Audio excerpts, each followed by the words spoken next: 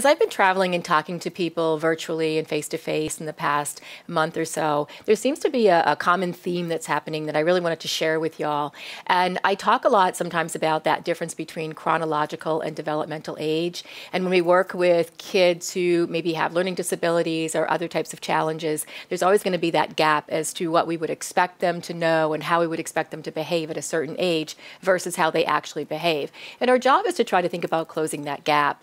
And one of the pressures that we're all feeling right now is closing an academic gap, uh, scores, things that kids have lost in the past couple of years as school has gone up and down in different uh, directions. But the reality is, is that there's going to be a gap there when it comes to developmental age, when they behave and how they behave.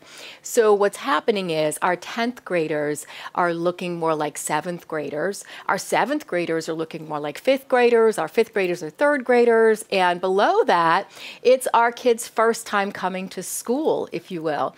And so they don't have those kind of the way you do school at a certain age. They don't have those what we would call um, normal, if you will, experiences. So I often have high school teachers that will say to me, "Oh my gosh, Polly, I did not sign up to teach, you know, middle school."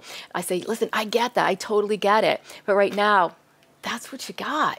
And they don't have the affective skills that we would expect the average 10th grader to come to school with. So now we, as 10th grade teachers and 11th grade teachers and whatever, we have to figure out how we're going to get the affective schools that we, affective skills rather, excuse me, that we do in middle school into our 10th graders. And the same thing as you go down the line and up the line. So please be aware, please be conscious of that. If you're teaching kindergarten, you may have developmentally, from a behavior standpoint and social emotional skills, developmentally, you may have two year olds in your classroom. And so you have to really not, I'm not saying lower the bar, but the expectations have to be realistic. So we're not going to be able to crush those things into kids, and we're not going to fill that type of developmental gap very quickly. We're going to have to kind of revert back, stop, make assumptions, and realize that you have to purposely teach all those skills that they may have had had the last two years kind of not gone down as it did.